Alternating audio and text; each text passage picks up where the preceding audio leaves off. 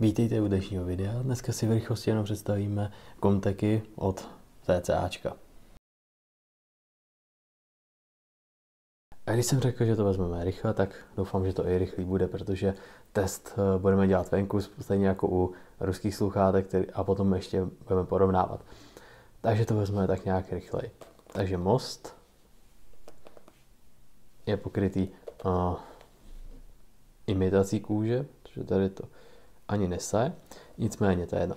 Uh, prostě imitací kůže, která samozřejmě chrání kabely a aby to, jste to měli příjemnější na hlavu.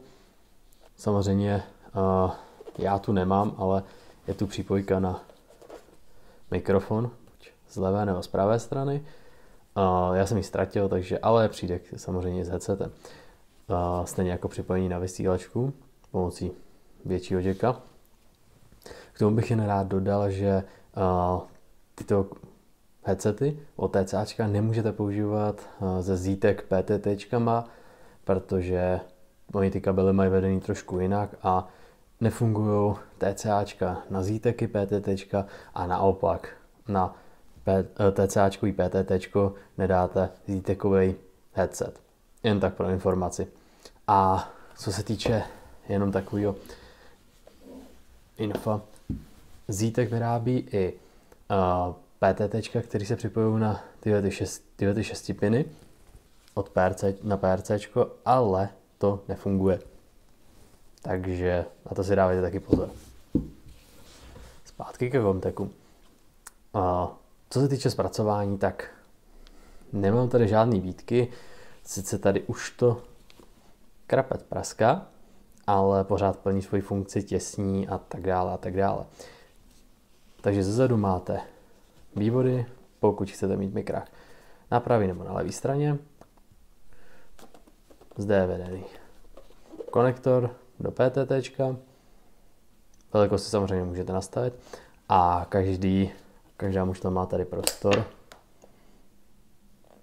na baterku na obou dvou stranách.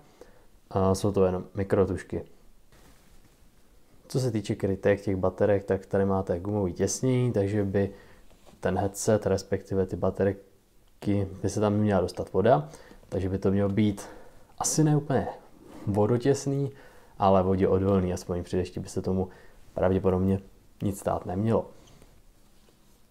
Jinak, zpracování je mnohem kvalitnější než zítek. To doufám, že ten zítek někdy seženu, respektive, že mi ho někdo půjčí, protože to srovnání by mě i relativně zajímalo. Headset je příjemný. Nebolí z něj hlava, což jsem třeba se zítekem, konkrétně s MSAčkama, s ordinama problém měl, takže tady ten problém nenastává. A samozřejmě tady máte ještě nálepku, že se fakt jedná o TCAčko. No, Zítek má pravděpodobně, tady jsem tady můj Peltor, Zítek by tady samozřejmě někde měl nějaký to logo, já teď mi nepamatuju, jak to přesně u nich vypadá, ale určitě by tam neměl nálepku TCAčko a myslím, že ani ten Peltor tam určitě nebude. Jinak samozřejmě na každý mušli máte ještě majky na aktivní odposlech a na samozřejmě levý mušli máte ovládání.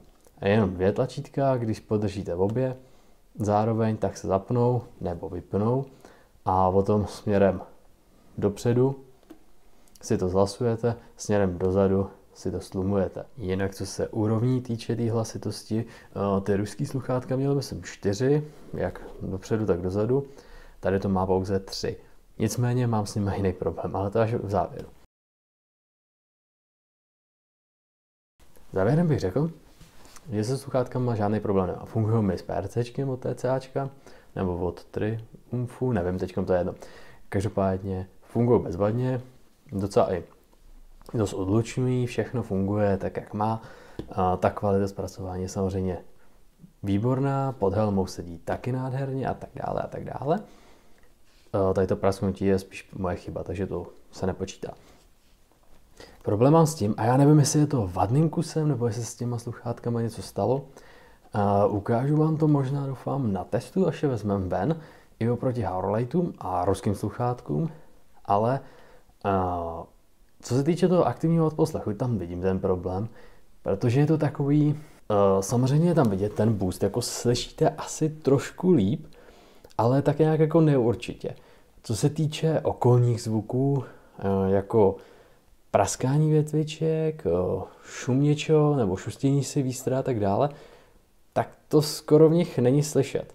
A co se týče Hourlightů a těch ruských sluchátek, a dokonce všech headsetů od Ziteku, tak vám boostují kompletně všechno. Takže vlastně slyšíte jak šustění, tak i chození, nebo po čem chodíte, praskání větviček, hlasy a tak dále a tak dále. Zde to nic takového neslyším. Já sotva, občas mi to neboostuje ani ten hlas, respektive hlas je slyšet líp, než když jsou vypnutý, ale prostě je to takový neurčitý a nevím, mísí se do toho hrozně moc šumu a tak dále, takže nevím, mně se to, za mě se ten aktivní odposlech teda nelíbí a je trošku zklamáním, že ty zíteky ho měly relativně lepší. Buď je to vadný kus, a nebo se prostě fakt s těma sluchátkama něco stalo, protože nevěřím tomu, že obyčejný zítek by byl lepší, co se týče toho aktivního odposlechu, než TCAčka, který si všichni vychvalují. Nikdy jsem na to neviděl úplně nic špatného proti tomu, takže um, co se stalo u mě a nebo tím pádem kompletně posoudit ten aktivní odposlech, který je za mě tím pádem lepší u toho zíteku, bohužel, ale je to tak. No. Každopádně říkám, já si nemyslím, že je to chyba těch sluchátek, že v základu uh, mají určitě ten odposlech úplně stejný, jak ten zítek, možná lepší s čistým zvukem, možná stejný, ale byl by dostačující. To, co je tam tečkom, nebo jak to funguje tečkom, tak je to prostě neurčitý a hrozně šumivý a tak dále. A myslím si, že takhle to teda nemá, nebo nemá to takhle fungovat určitě a myslím si, že to není chyba TCAčka, myslím si, že je to fakt chyba jenom toho, že se prostě tomu něco stalo, nebo je to fakt vadný kus. Takže toho bych asi hodnotil jediný negativně, nicméně tak to prostě je.